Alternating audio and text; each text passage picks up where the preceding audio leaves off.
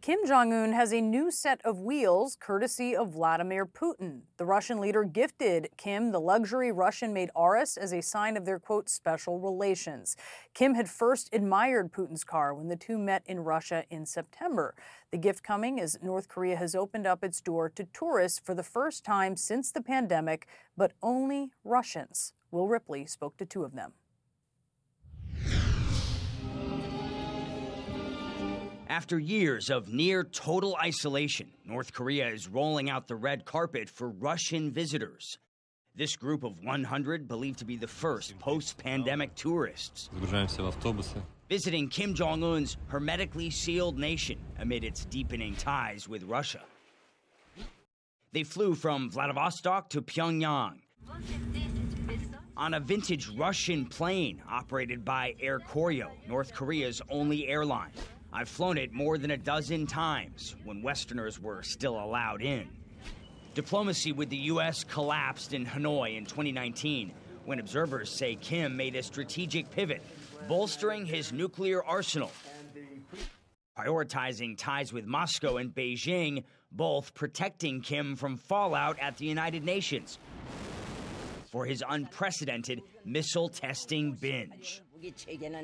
Russia is reportedly releasing millions of dollars in frozen North Korean assets, facilitating access to international banking networks, the New York Times reports, setting the stage for a new chapter of Kim's nuclear ambitions, possibly with the help of Russian rocket scientists.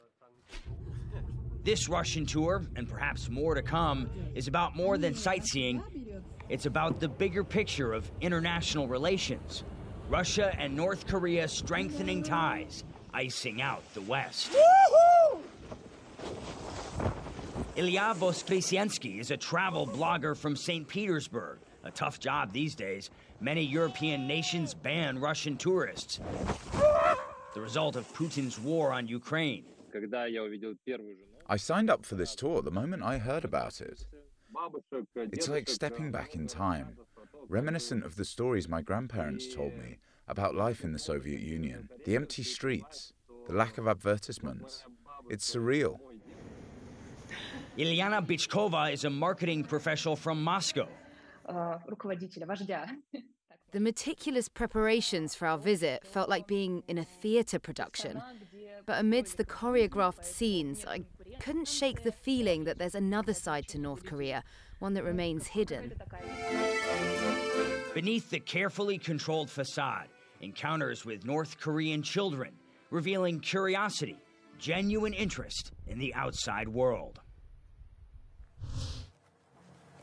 Tourism is one thing, but tonight there's growing concern about this deepening military partnership between Russia and North Korea. An investigative organization out of the UK says that North Korea is firing ballistic missiles. They analyzed one of them, and they said hundreds of components in that missile uh, were made in the United States, possibly within the last three years, Brianna.